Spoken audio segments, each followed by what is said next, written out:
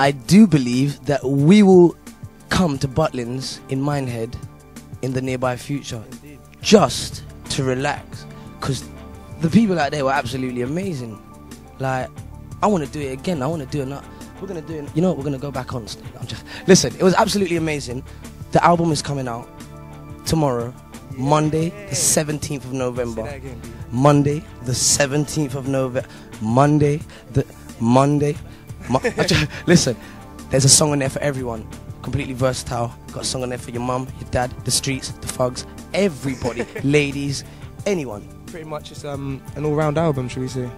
The first, should we say, it's like the best of N-Dubz. It's like our, all our classic songs that we got noticed for, and what it, it means a lot to us due to the fact that everyone out there is all singing along to our words, and we did it all ourselves. We did it all ourselves, word of mouth. We told Jim, Jim told Claire, Claire told Bob, and that was it. And then now, people, now we got thousands of people singing along. Um, we didn't have to go to no talent show, no big TV thing to get fans. We've done it ourselves, and that's what keeps it hungry. That's what keeps you wanting to do it more and more. Because you do it, you're in the studio, you're writing and you're writing, and you create such an amazing record, and you see it getting processed, you see it getting manufactured, and then you go and step on the stage, put your hands in the sky, you sing the song, and then you do this.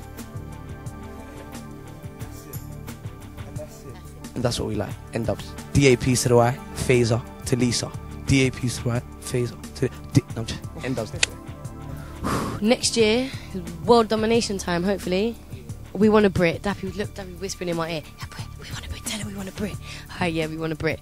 Um, hopefully, we just want the album to explode and get onto some new new material or something fresh.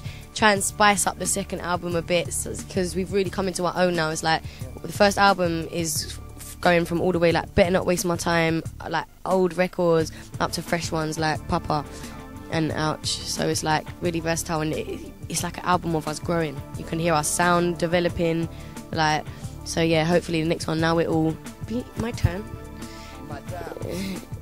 This is the thing when there's a female in That's the group. it. Do you understand? This is what we call the mother, the mother hen, The mother who? the mother hen. The mother hen. She keeps us all together.